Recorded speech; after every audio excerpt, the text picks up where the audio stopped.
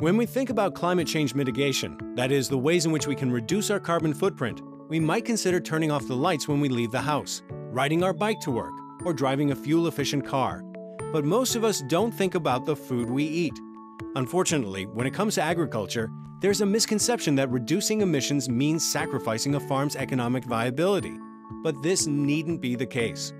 When it comes to climate change mitigation, agriculture provides many opportunities for us to both reduce our emissions while also enhancing the profitability and long-term sustainability of our farms.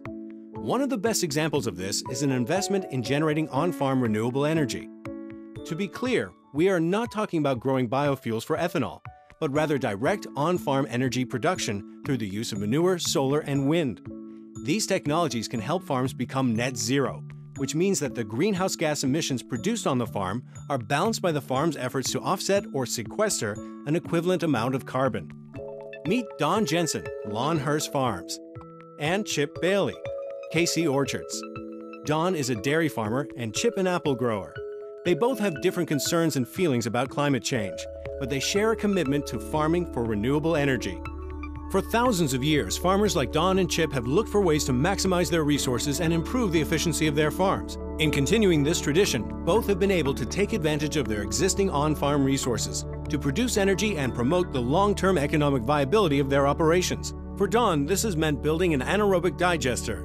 We have currently about 1,500 milk cows, 1,200 supporting livestock. We farm about 2,000 acres in Stanley, New York. We produce in the neighborhood of 40 million pounds of milk a year, which is marketed locally through the Upstate Milk Cooperative. Uh, this is a farm that now has four generations. I'm the third. My daughter and my son will be taking the business over as time moves on. Three or four years ago, we were investigating building an anaerobic digester.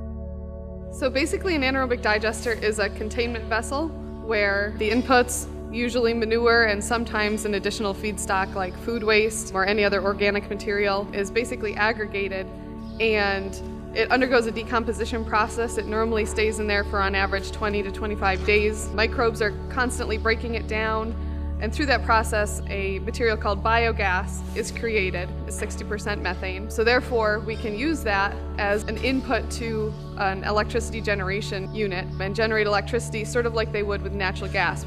A farm is really usually able for a lot of the year to offset their purchase power costs um, from using their own biogas-based electricity on farm. The initial reason we wanted to build a digester was to create an ample supply of bedding. That was the original reason. We just didn't have enough bedding of the solids to bed the cows and we wanted a pathogen-free bedding. The reduction in the odor. We are in an area where there's a fair amount of housing, there's a fair amount of small little hamlets. So, you know, when we're out there spreading millions of gallons of manure annually, we're very sensitive to how the neighbors feel about it. Running this through an anaerobic digester doesn't eliminate eliminate totally, but it certainly makes it more palatable within the neighborhood. The ability to go out and, and put manure on the fields without a lot of complaints and a lot of uh, negative feedback from the community. So being community friendly is, is very important to this, this farming operation. There's definitely societal benefits as well when you get into talking about climate change, reduced um, methane emissions from livestock. I'd say the most important role that digesters play in climate change mitigation is you're intentionally capturing that methane that's produced from the livestock manure and putting that towards a beneficial use. So instead of that methane, which is a very potent greenhouse gas being released to the atmosphere, you're capturing that and then once you use that in an engine generator set to produce electricity, you can reduce purchased fossil fuel-based power from the grid. Um, so that's sort of a win-win situation. So not only has Don positioned Lawnhurst uh, uh, now and into the future to take advantage of generating a, a renewable electricity resource, but also to the extent that there are revenue opportunities presented because of the ecosystem benefits. So if in the future there's a substantial revenue opportunity from demonstrating carbon sequestration and carbon management, that's extremely valuable certainly from a sustainability uh, perspective going forward and the most important sustainability issues, financial sustainability. Anaerobic digestion technology works. It's definitely been proven. It's not a new technology. What really is lacking is an economically favorable environment for these things to really take off. In some of the feasibility studies that we've done, we've come up with sort of tail end marketing ideas like a green milk. Different farms with digesters or, you know, climate mitigation strategies could put their milk together and claim that it was carbon neutral or green. That's definitely a marketing strategy, and I think people would pay more, just like they pay more for organic. Most dairies our size, and frankly, probably a little larger, over the next 10 years have got to adopt some sort of technology. We've got a resource within the, the, the waste stream in itself. Uh, you know, we've got carbon that can be reduced, uh, the carbon footprint. What is somewhat of a nuisance is, is now a resource if you have a digester. And frankly, we've found that the amount of time needed to, to operate this digester isn't a whole lot more, maybe another half hour a day more than what we already had invested in handling our manure waste anyway. This originally was budgeted to cash flow, and now it's looking at one year of operation, it appears that it's, it's exceeded our, our expectations. And the digester is, is one of the technologies that can, can make us neighbor friendly, community friendly, and environment friendly. By proactively managing his farm's waste stream through the use of a digester, Don is lowering his farm's methane emissions while farming for energy. Digesters are well suited for dairy farms, but they are not the only technology available to farmers. For farms without manure, solar and wind production can play a pivotal role in reducing carbon emissions. 35 miles north of Stanley, New York, near the shores of Lake Ontario, Chip Bailey, too, is farming for energy.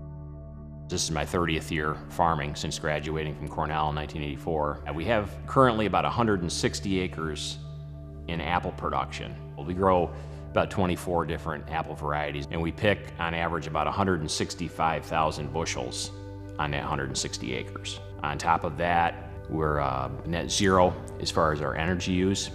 The renewable change, my wife Carla and I both decided on together. And my wife is a big part of our business and meeting our net zero energy goals is something that we decided together and, and we're both committed to. I first began looking into renewable energy in the fall of 2001. Long and short of it, from 2001, it took me until 2009 to get that windmill up. A month after I put up the windmill, we installed our first solar system. We could kind of add on to that as we needed more power. So all our cold storages, shop, labor camp facilities here on the farm, including my house, is powered with renewable energy, and that reduces our carbon footprint. On an annual basis, we produce about 180,000 kilowatt hours of power. So that would be enough roughly to power 18 homes on an annual basis. You look worldwide, there's not enough water and energy, and food is right up there. We live in a plentiful land here, but you look worldwide, there's definite shortages. So those three things, I think there's always going to be a demand for. And because we're a growing business, we've created our own demand.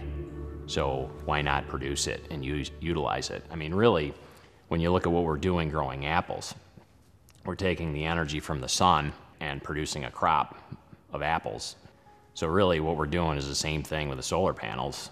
We're harvesting the sunshine with apples or renewable energy anything in life is a gamble, and anything new, you're going to take some lumps over.